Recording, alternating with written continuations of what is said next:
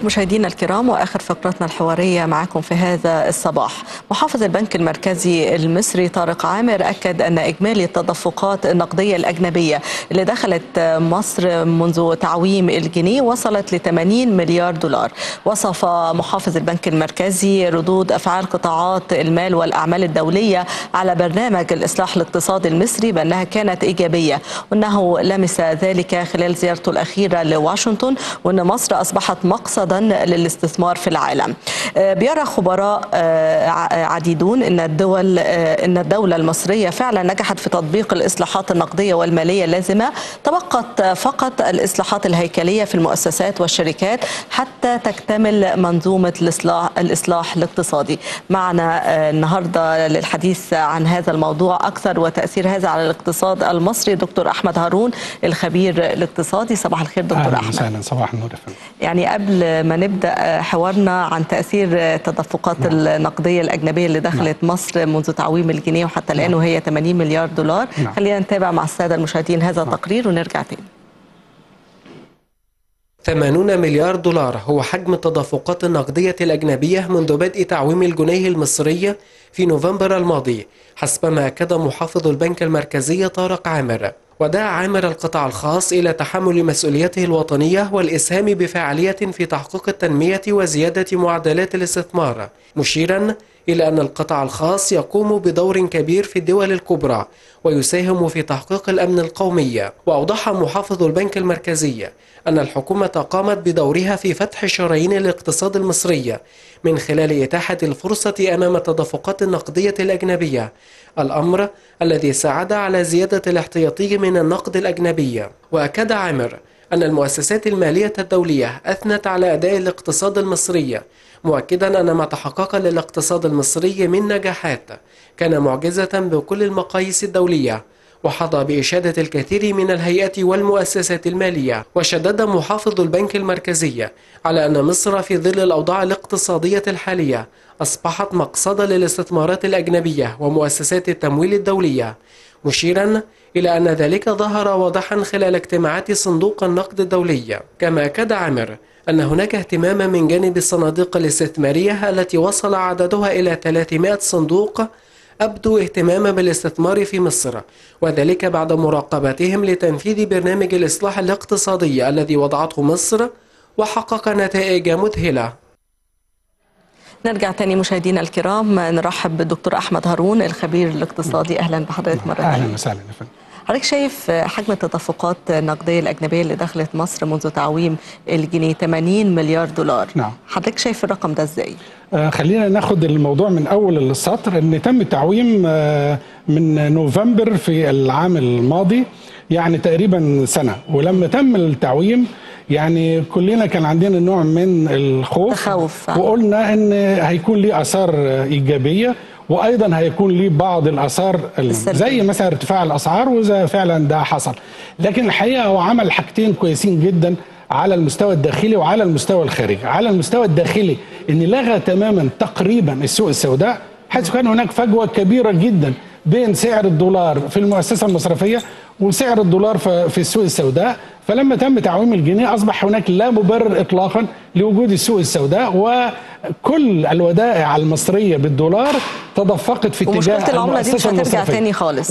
لا لن تعود حتى لو عادت هتكون بهامش بسيط جدا الحقيقة ده حقق آه، حاجتين مهمين جدا اولا دخل كل هذه الأموال داخل المؤسسة المصرفية فاتلغت السوق السوداء النقطة الثانية إنه بقى هناك عملة صعبة لدى المؤسسات المصرفية قادرة على تغطية احتياجات المستوردين وكان دائما المستوردين يشتكون من فكره فعلاً. عدم وجود هذه الأموال يبقى اذا هو على المستوى الداخلي استطاع أن يجذب آه، يعني مبلغ ضخم جدا ربما في وقتها اتقال 20 أو أكثر مليار دولار من الداخل ودي نقطة مهمة جدا أما على المستوى الخارجي فنحسبها مع بعض آه، كالآتي.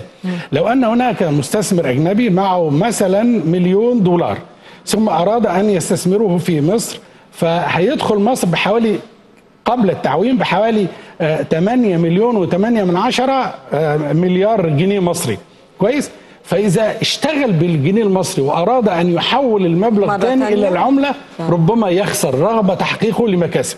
أما الآن المليار دولار هيدخل مصر بحوالي 17.5 مليار فأصبح هناك تشجيع جدا لكل أصحاب العملات الأخرى سواء الإخوة في الخليج أو حتى أوروبا إن العملة بتاعته أصبحت تعادل قيمة هي الحقيقة قيمة عادلة فأصبح هناك تدفق للاستثمارات اللي داخل مصر. بس ده يستلزمه بقى يعني مناخ استثماري جاد من خلال القوانين الحقيقة والتشريعات ده عنوان أكثر من ممتاز. إن الموضوع الحقيقة هي منظومة تحتاج إلى جذب الاستثمار ليس فقط فرق العملة الذي يدفع المستثمر الأجنبي إلى دخول الدولة ولكن أيضا القوانين التي تنظم الاستثمار وأيضا كيف نتعامل مع المستثمر الأجنبي ما هي الضمانات والحوافز التي تقدم لهذا المستثمر الأجنبي وبالتالي يستطيع المستثمر أن يدخل.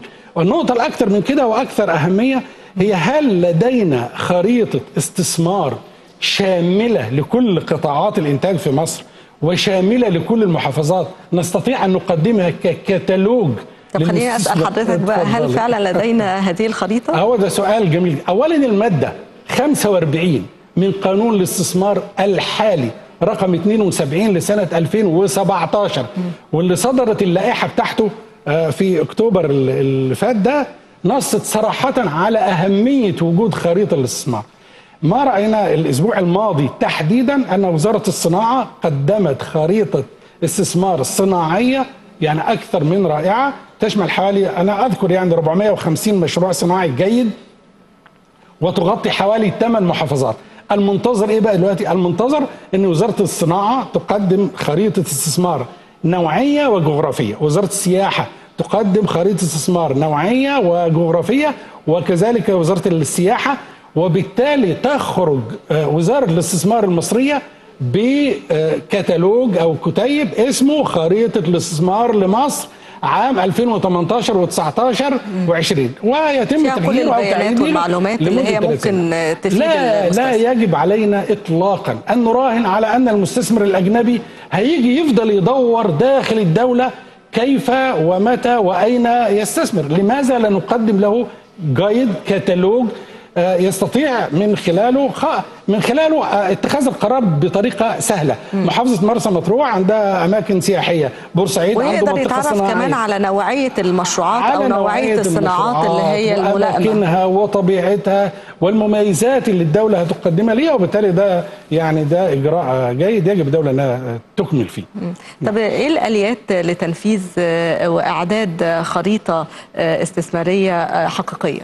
هو يعني الشيء الوحيد الوحيد ليس له بديل اخر إن كل قطاع من قطاعات الدولة أو كل وزارة من وزارات الدولة هي تقوم بدراسة ما لديها من حاجات يعني مميزة.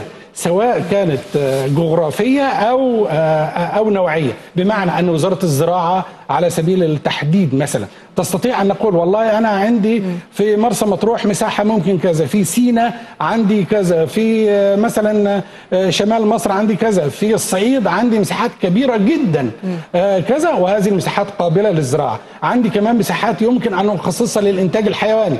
عندي مساحات يمكن أن أخصصها للاستزراع السمكي. اذا وزارة الزراعة هي تقدم هذا الخريطة بمعرفتها ثم وزارة الصناعة تقدم ثم وزارة السياحة تقدم ثم وزارة الثروة المعدنية تقدم كل ثم ده يكتمل بقى أيوة في ثم وزارة الاستثمار تقوم. بتجميع نعم. هذه الخرائط لتصنع خريطة واحدة عشان يكون في حوافز مع كمان. أو تسهيلات الحوافز والضمانات بيضمنها هذا القانون يعني القانون الأخير ده هو اسمه قانون الاستثمار إنما أصل التسمية بتاعته قانون ضمانات وحوافز الاستثمار. خلينا نتفق اتفاق نهائي لا خلاف عليه أنه لا يمكن لمستثمر أجنبي أن يدخل الاستثمار في مصر إلا إذا كان هناك خطوط عريضة واضحة. أن هناك ضمانات لحماية استثماره داخل الدولة أول حاجة كمان الأمن والأمان كمان. تشجع. عنصر الأمان مهم في الحقيقة من اي الناحيه القانونيه القانون فيه. من الناحيه القانونية القانون لا يجوز المصادرة. لا يجوز فرض الحراسة لا يجوز تثبيت الأسعار آه، عليه لا يجوز إلغاء الترخيص هذا بموجب القانون. وأما الحوافز اللي بتقدم ليه فهي حوافز كثيرة جدا مثل إن أي آه، مؤسس أو مساهم في شركة الدولة بتعطي له إقامة آه، المناطق ذات الطبيعة الخاصة زي محور قناة السويس أو المثلث الذهبي أو الاستثمار في سيناء أو الاستثمار في الصعيد وهي أماكن لها طبيعة خاصة. الدولة يمكن يمكن أن تقرر أن تمنحه الأرض بتسهيلات طويلة جدا وربما تقدم له الأرض مجانا إذا كان المشروع يعني إيه له طبيعة خاصة. وبالتالي القانون نفسه ضمانات حمزة. أيضا من ضمن الضمانات الجميلة جدا إنه إذا دخل فلوس يستطيع ي- يعود بها مرة ثانية هذه الأموال والأرباح كمان المحققة. وبالتالي القانون كويس والمنظومة المالية كويس. يبقى بقى مش ناقصنا حاجة. هذا لا ناقص. هذا الموظف البسيط جدا الموجود خلف الشباك في كل المصالح الحكومية. أن يستوعب أن كل هذه الإجراءات لنجذب مستثمر خارجي من ليستثمر في خلال الشباك الواحد. آه، سواء الشباك الواحد أو أو أو مفهوم وطبيعة وسلوك الموظف الذي يقف خلف الشباك. لابد أن يكون لديه وعي وإدراك وثقافة وبرامج تدريبية طبعا إن هو يتعامل مع جنتلمان. يعني آه. أنت لأن ده جاي معاه فلوس ليستثمر في بلدك هتعامله بقى بطريقة مش كويسة أو اجريسيف أو كده يعني هو في غنى عن وهذه آه، هذه نقطة أو يعني لو مهمة لقى. الجانب ال- آه، البيروقراطي موضوع في موضوع. الشباك الواحد نعم. هو الآن موضوع الشباك الواحد موجود في هيئة الاستثمار لكن أنا أتصور إن الشباك الواحد يجب أن يكون في كل المصالح الحكومية كلها خلاص أن نستخدم النت بطريقة أرقى شوية ويصبح المواطن المصري سواء كان مستثمر من الداخل أو من الخارج يذهب إلى هذا الشباك. أنا بس أرجو يعني أذكر برضه على سبيل التحديد لأن دي حاجة كويسة. الحاجة كويسة نقول عليها كويسة. إن مرسى مطروح عمل شباك واحد عنده في مرسى مطروح. وقال والله على المستثمر أن يأتي بأوراقه بمستنداته وبشهاده إيداع رأس المال ثم يقدمها للشباك الواحد ثم يمشي ثم يتصل بيه ويقولوا له تعالى الإجراءات بتاعتك آه، انتهت. أما بقى فكرة أن نعود مرة ثانية أن يأتي المستثمر من الخارج فنقول له روح الشهر العقاري والسجل التجاري والتأسيس والغرفة التجارية والغرفة الصناعية والرخص والبيئة. نعم. يعني ما حدش بيعمل كده. وبعدين التنافسية النهاردة- كمان في مجال مفيش كده. الاستثمار كبيرة جدا النهاردة العديد من الدول كده إنها على مستوى بتقدم العالم. حوافز كتير. أيوه. النهارده ما فيش كده على مستوى العالم خلاص هو المستثمر الخارجي بيأتي يقدم أوراقه كاملة. يعني حضرتك حط الأوراق المطلوبة كاملة. مطلوب منك 10 أوراق. ثم يقدم الأوراق إلى موظف واحد وراء شباك واحد. ثم يتم الاتصال بيه تعالى المعاملة بتاعتك انتهت الحقيقة هيئة التنمية الصناعية عملت حاجة برضه نذكرها بالخير إن هي قالت إن أي مصنع يتقدم أنا ادي له رخصة لمدة سنة. ثم يكمل إجراءات المتعلقة به. وأنا أعتقد ده هذا كويس طب دكتور أحمد يعني في كثير من مؤسسات اقتصادية عالمية أشادت بالاقتصاد المصري وبرامج الإصلاح الاقتصادي من آليات مالية و- ونقدية. رأي حضرتك إيه؟ شوفي أنا لازم أوضح لحضرتك برضه نقطة مهمة جدا. في مؤسسات رسمية زي صندوق النقد الدولي حاجة رسمية. زي البنك الدولي دي حاجة رسمية. زي نادي باريس. دي حاجة رسمية. دول لا مجاملة معهم دول ما بيجاملوش حد. بالعكس هم جهة يعني متشددة. متشددة جدا. كويس؟ لنا معهم علاقات قديمة جدا وعلاقات نحن مثلا أعضاء ومساهمين في صندوق النقد. نعم. ولنا علاقات بالبنك الدولي ولنا علاقات بنادي باريس. وهؤلاء لن يتعاونوا معنا ولن يعطينا يعني القروض التي هي نعم نحن نستلمها الآن إلا إذا كنا بنسير بخطوات يعني جيدة. وهناك منظمات يعني تعتبر غير رسمية زي فيتش مثلا و Standard and Poor's وجوجينج هذه المنظمات هي منظمات غير رسمية لكنها أيضا بتقوم بتحليل كل البيانات المالية عن الدولة. في بقى جانب آخر لابد أن نهتم به هذا الكلام للمتخصصين. نعم. يعني هذا الكلام كله للمتخصصين. إنما ما يعنينا والنجاح الحقيقي لأي حكومة أن المواطن المصري البسيط يمكن أن يصبر سنة أو أخرى لكن بشرط أن يكون هناك أمام عينه وعد ال- السلع والخدمات والأكل والشرب والسكن والتعليم والصحة تكون في متناول يده لو حضرتك خدتي كل الجوائز من كل المنظمات الدولية ولا زال المواطن المصري البسيط اللي هو أنا وحضرتك برضه جزء منه لا زال يعاني في الأكل وفي اللبس وفي السكن وفي التعليم والصحة. يبقى لسه برضه مع إيه؟ ما لأن اقتصادنا الكثير من الذين حوارنا اللي يتكلمون قبل حضرتك كان مبادرة لطرح الملابس الشتوية بالتقسيط. أنا فكرة جميلة في هذا الاتجاه لكن أنا عايز أوضح لحضرتك نقطة مهمة جدا. نحن لا يمكن أن نكون اقتصاد حر. كلمة اقتصاد حر دي معناها التقاء العرض والطلب مع بعض احتكار مش احتكار زي ما بيوصل أي نتيجة. الحقيقة لأن عندنا نسبة نحن نعترف بها أن هناك نسبة من البطالة وهناك نسبة من الفقر وهناك نسبة من محدود الدخل هذه الجهات تحتاج منا ما يسمى بالاقتصاد الاجتماعي. وهذا الاقتصاد الاجتماعي موجود في كندا وموجود في فرنسا وموجود في السويد. إنه يحمي الطبقات الفقيرة والطبقات محدودة الدخل من أن يتعرض لأزمات. اذا أنا أوافق إن إحنا ناخد من كل المؤسسات الدولية الرسمية وغير الرسميه جوائز وشهادات إن إحنا بنسير بخطى جميلة لكن دائما تكون اعيننا على رجل الشارع كيف نصل معاه بعد شهر بعد شهرين بعد سنة لكن المهم إن إحنا نصل إلى هذا الهدف أن يكون الغذاء والمسكن والعلاج الاحتياجات والتعليم الأساسية الاحتياجات. الأساسية نعم. في متناول الذي هو في حدود دخل.